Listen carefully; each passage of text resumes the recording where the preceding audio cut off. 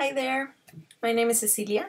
I'm from Argentina, but I live in Hong Kong. I lived in Hong Kong for the last eight years, and um, I came to Hong Kong to teach Spanish.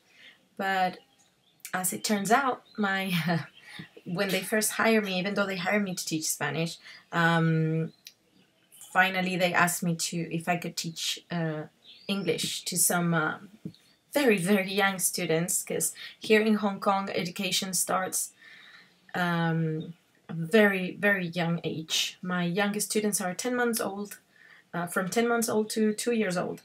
And um, well, I actually love teaching them. But I don't have a proper diploma or certificate to teach English.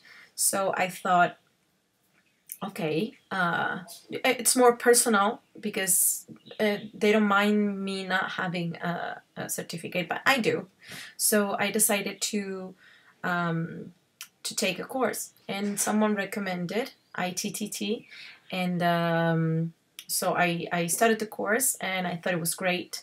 They give you great great tips about how to teach, um, and where to get material. Uh, I in, in the grammar part, like of course there's a lot of things that I learned that I didn't know or that I didn't uh, know how to use properly. And um, well, I loved every bit of it, and I love the fact that you you you have people that you can come to if you have any questions or any problems.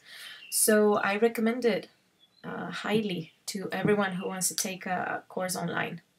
So um, that's it. Okay, bye.